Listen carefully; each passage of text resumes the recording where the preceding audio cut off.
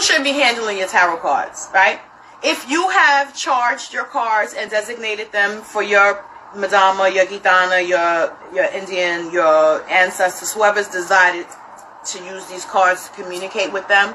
Once you've charged them and given them to somebody, they, nobody shouldn't just touch your cards. If you're doing a reading and you they tell you cut the cards, okay, that's in that moment, right? If they're doing a reading and they tell you shuffle the cards, okay, that's in that moment.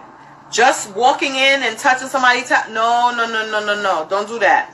You do not pick up my cards and read with my cards.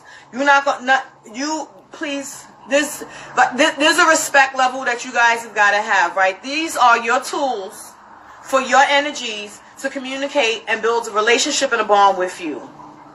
Why would I want Joyce to come in here and touch my cards on an energy that I have built a relationship and a bond with that I need to feel her energy. Now Joyce don't come touch my cards and now Joyce's funky, nasty, dusty energies on my cards.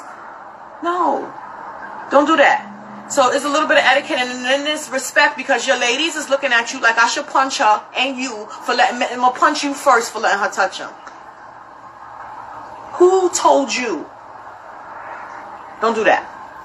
Etiquette, respect, it's between you and her. These are ours. This is not for us to be sharing with them. Nobody else to be touching them. None of that other kind of stuff. If we're doing a reading and I say cut the cards, that's a different ball game. But for you to just be saying, oh, let me read your cards, bitch, don't touch my cards. I'll chop your fingers off. Every finger you'll lose on that hand. Don't touch them. Are you crazy? No.